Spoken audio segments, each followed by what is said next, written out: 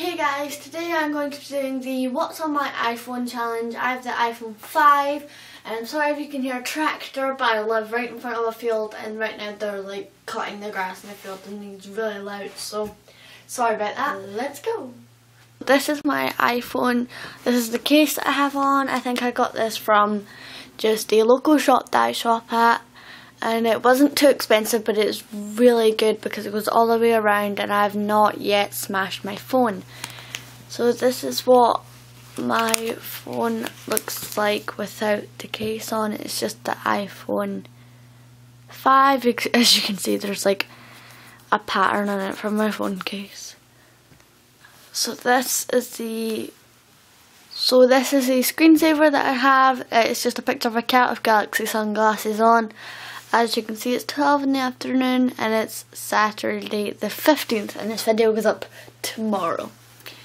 So when I just log in, this is the front page, you just have your normal stuff. Calendar, photos, camera, clock, weather, maps, videos, notes, reminders, stocks, passbook, iBook, iTunes, App Store, newsstand, settings, Safari, Game Center, extras with all the boring stuff in it. And then this app tips, which I have, which I find so useful and it's good to go on just when you're bored. And it basically just gives you tips, like you can type in anything from like beauty all the way to travel. And it's really good and it gives you new tips and then you go down on this bit I have music, iPhone, messages and messages hmm? messages and FaceTime. The next page I just have all my other apps that I got.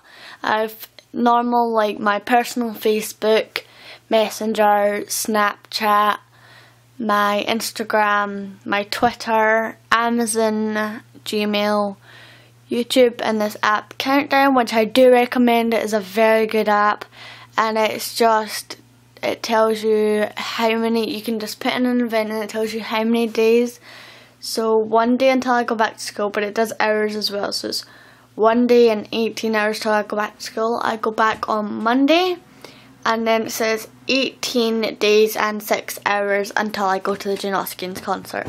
Then I just have Spotify, Retrica and Snapfish which is a app where you can choose photos from your phone and get them sent to you like I have on my heart wall, you could say, the photos that make up a heart, that's where I got those photos.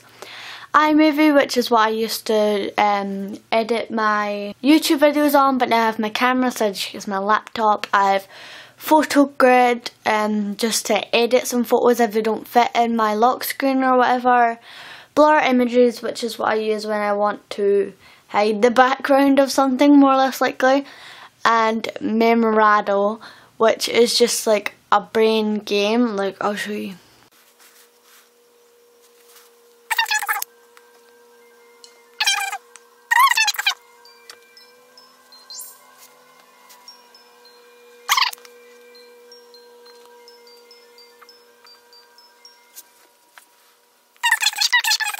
Okay guys, so that is the end of the video.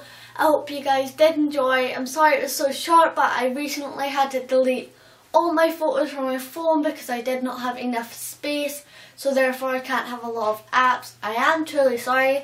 If you did enjoy the video please do give it a big thumbs up and if you haven't already subscribe to my channel. That is all for now guys. I will see you on Wednesday. Bye.